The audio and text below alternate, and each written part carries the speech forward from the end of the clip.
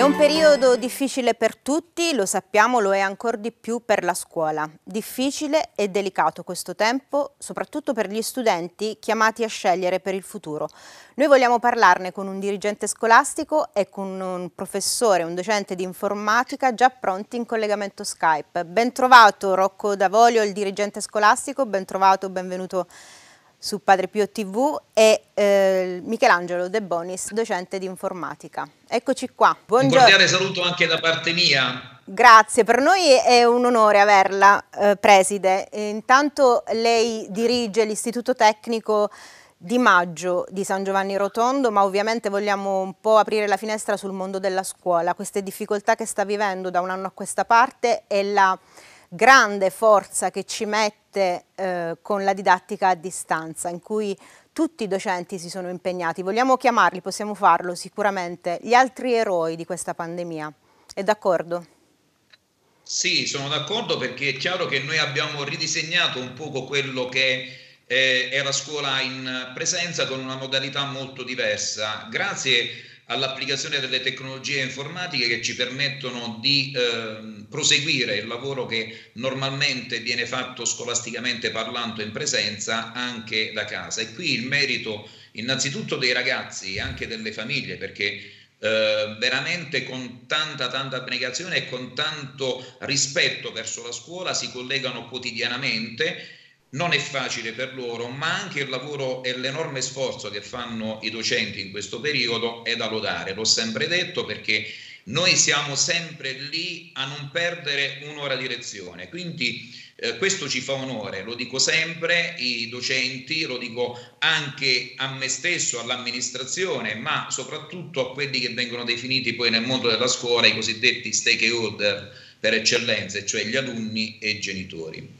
E il merito di questa didattica a distanza è sicuramente anche di chi dirige l'intero istituto. In questo caso stiamo parlando del nostro eh, dirigente in collegamento Skype. Eh, io vado avanti proprio perché voglio sapere se ci sono state delle problematiche su mh, questo livello eh, al professore di informatica Michelangelo De Bonis. Quali difficoltà hanno riscontrato i docenti a questo punto? Perché gli studenti sappiamo insomma sono un po' più avvezzi alla, alla tecnologia. Sì, in effetti è, è, vero, i ragazzi sono quelli che vengono chiamati anche nativi digitali, quindi uh-huh. sono un po' più eh, avvezzi e un po' più portati all'uso soprattutto delle applicazioni. Però la parte più difficoltosa dei, dei, docenti non è stata quella di adeguarsi ovviamente allo strumento tecnologico, ma tanto quello di dover riprogrammare, ripensare la propria attività didattica attraverso uno strumento, perché noi veniamo da una formazione che non è solamente la, la, nostra della formazione di didattica in presenza, ma è una formazione che abbiamo avuto anche come alunni, dove abbiamo sempre avuto la possibilità del contatto umano, della relazione personale per poter effettuare la didattica. Il dover accedere a uno strumento e dover usare degli strumenti totalmente digitali e quindi eliminando tutto ciò che riguarda l'analogico porta a ripensare ovviamente la modalità di effettuare la didattica all'interno di eh, un'ora di, di lezione e anche le pause oppure i momenti da dedicare alla socialità, allo scherzo, vanno comunque ricalibrati e ripensati. Eh sì, questa è una difficoltà riscontrata sicuramente anche da altri colleghi. Noi eh, abbiamo scelto questo periodo anche perché è il periodo in cui mh, si fa una scelta, questa scelta la fanno i ragazzi della terza media che in questo momento stanno frequentando la terza media, la scelta per il prossimo futuro. Eh, un istituto tecnico l'abbiamo scelto apposta perché è forse quello che offre più possibilità di lavoro dopo i cinque anni. Eh, preside, sicuramente non esistono sì. scuole di serie A e scuole di serie B, ma un istituto tecnico ha una marcia in più sicuramente. Sì, ehm, l'istituto tecnico va inquadrato in quella che è stata definita una, diciamo, eh, una rivoluzione epocale per quanto riguarda la scuola secondaria di secondo grado che è avvenuta con la riforma del 2010 Infatti eh, gli istituti tecnici più eh, di ogni altro indirizzo di studio sono quelli che si sono adeguati maggiormente a quelli che sono stati gli orientamenti dell'Unione Europea attraverso i quaderni bianchi del 1993 di Delors e del 1995 della Cresson che per la prima volta hanno dato un input agli Stati membri dell'Unione Europea di quello che era eh, il, il, concetto di istruzione unito per la prima volta al concetto di lavoro. Quindi due mh, binomi fondamentali che fino al 93 andavano ehm, diciamo per vie separate, quindi la scuola da una parte e il lavoro dall'altra, invece no, quindi l'Unione Europea ci è venuta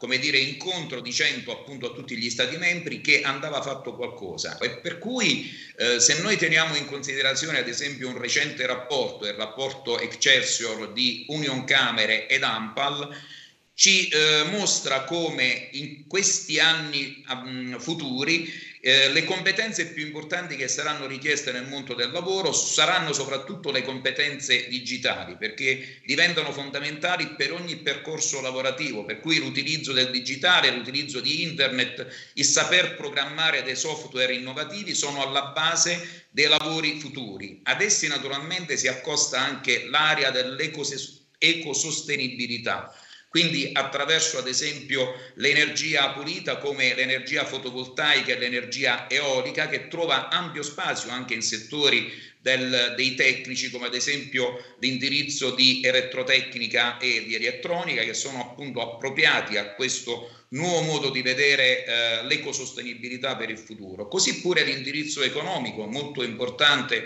non soltanto a livello locale ma anche a livello globale. Quindi lo studio di eh, discipline quali eh, economia, quali finanza, quali diritto, ma insieme anche alla conoscenza delle lingue straniere che rappresentano una delle otto competenze chiave raccomandate appunto dal Consiglio dell'Unione Europea e dallo stesso Parlamento dell'Unione per quanto riguarda le, diciamo, il, le competenze di base che ogni cittadino europeo deve eh, possedere a livello, di, ehm, a livello proprio di cultura personale quindi importante da questo punto di vista. Così anche l'altro eh, settore importante che è il settore eh, della salute. Lo abbiamo vissuto proprio in questo periodo, un periodo eh, pandemico in cui c'è necessità di reperire medici, di reperire infermieri, di reperire quindi persone a livello eh, sociosanitario e quindi anche gli istituti tecnici da questo punto di vista sono molto attrezzati attraverso l'indirizzo di biotecnologie sanitarie. Preside, in questo momento c'è il famoso Open Day, ma eh, chi è che influisce sulla scelta? Noi abbiamo, mostreremo anche il sito dell'Istituto Tecnico di Maggio eh, dove c'è la possibilità anche di vis visitare virtualmente l'istituto, la struttura, però una domanda un po' più così sentimentale se vogliamo, chi è che influisce sulla scelta della scuola, mh, sui ragazzi, la famiglia, gli amici, i desideri che hanno per il futuro? Vista l'esperienza allora, che ha. Questa è una fase eh, molto importante perché è chiaro che stiamo parlando di eh, ragazzi che hanno 14 anni di età, uh-huh. per cui è chiaro che l'influsso è sicuramente quello dei genitori, ma io devo dire che c'è un, una, un, una forte attenzione anche su quello che è ehm, l'offerta formativa del territorio. Per cui il territorio diventa molto importante e molto basilare in questo eh, contesto, per cui ci sono diversi fattori. È chiaro, territorio, famiglia, eh, ragazzi, è chiaro che il gruppo dei pari fa tanto, ma dobbiamo tenere presente appunto quello che dicevo prima, il percorso di studi e soprattutto il progetto di vita di ogni ragazzo che eh, va costruito giorno per giorno in funzione di attività lavorative future. Il nostro istituto come istituto tecnico già dopo i cinque anni dà dei diplomi che ehm, possono permettere agli studenti che frequentano questo indirizzo di studio di mettersi direttamente nel mondo del lavoro, però nulla toglie agli stessi studenti di proseguire eh, gli studi in tutte eh, le facoltà universitarie, perché non c'è nessuna negazione a qualsiasi forma di eh, università. Per cui ecco l'istituto tecnico, secondo il mio punto di vista, si pone proprio come istituto con i diversi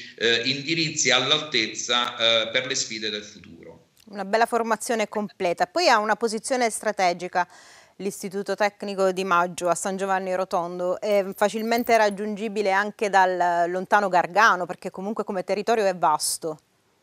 Sì, infatti io eh, chiamo l'Istituto Tecnico di Maggio come scuola del territorio perché uh-huh. oltre naturalmente ai sangiovannesi che frequentano questo istituto abbiamo molti studenti che provengono da cittadine limitrofe come ad esempio Monte Sant'Angelo, Manfredonia, Mattinata, Carpino, Cagnano Varano, San Nicandro Garganico, San Marco e Lamis, Rignano Garganico, addirittura abbiamo anche delle unità che vengono da Vieste, San Severo, Cerignora. Quindi questo fa onore al nostro istituto perché è chiaro che si pone come istituto del territorio.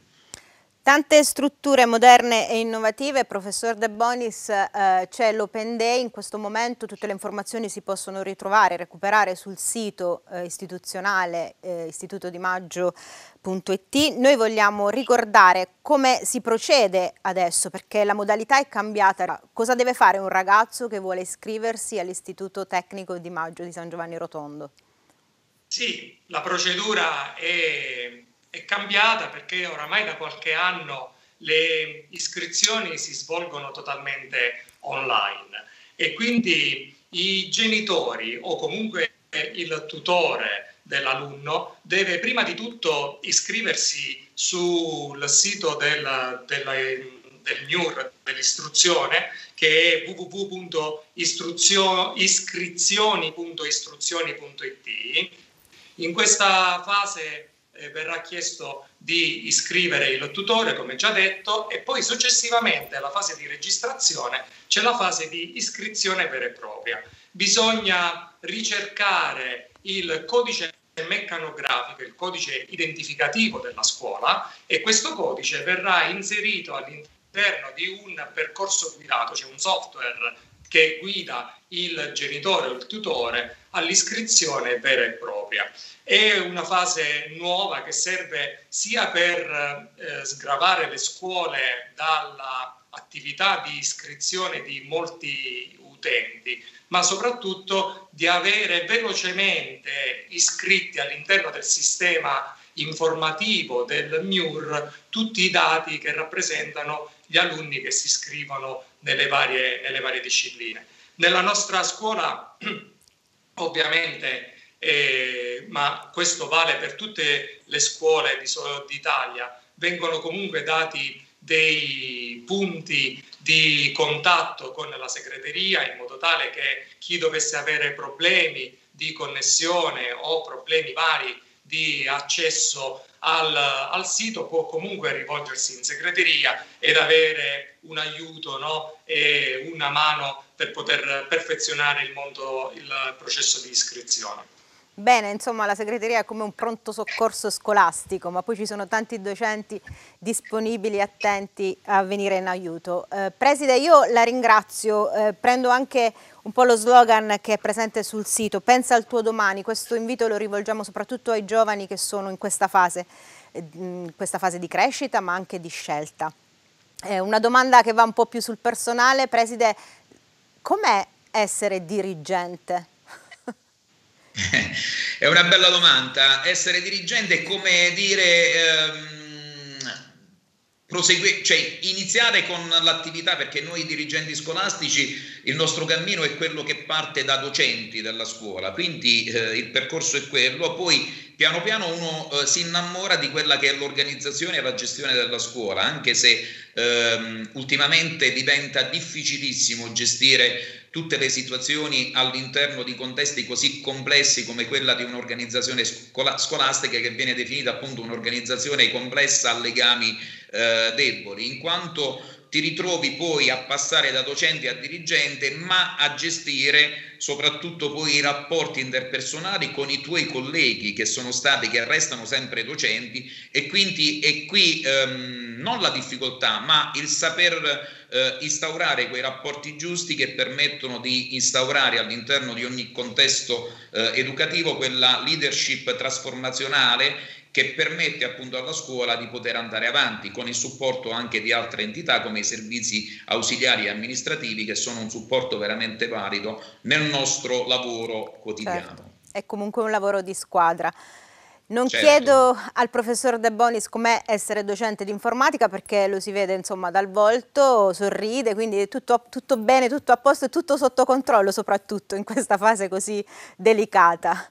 Io vi ringrazio. Ce la mettiamo, ce la mettiamo sempre tutta affinché sembri tutto a posto. è così, è così, anche da fuori si evince. Grazie ancora, buon lavoro preside, buon lavoro professor De Bonis, a tutta la categoria degli insegnanti i nostri, anche i nostri eroi sono diventati. Pensa al tuo domani, questo è l'invito a tutti i ragazzi pronti per, per avviarsi nel proprio futuro, insomma con successo. Grazie ancora. Arrivederci. Grazie